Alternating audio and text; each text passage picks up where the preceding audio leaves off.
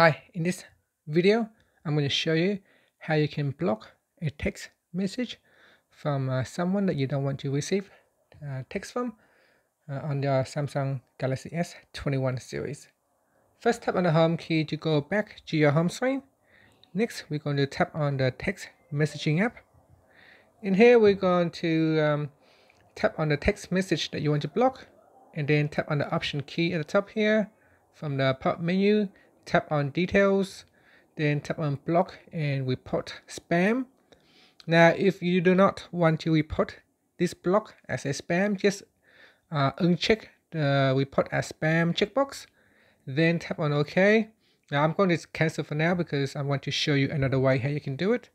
So I'm going to tap uh, on the back key to go back to my messaging list. In the list here, um, touch and hold onto the text message and then you can see immediately there is a, um, a kind of like a toolbar at the top here. Now you can tap on the block button. This is the block button right here on the top right hand corner. So I'll tap on it. And then it will bring up a, uh, a text box right here. Is saying uh, block and report spam. So you can uh, uncheck report as spam then click on or tap on OK button. And that will be added to the block list so now let's uh, have a look. So I'm going to tap on the option key, then tap on spam and block.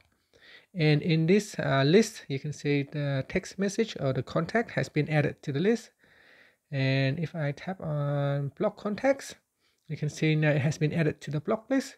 So we can just uh, simply remove that and then go back and that will be undone. So we have just uh, reversed the action. Now my uh, text message is no longer uh, being blocked.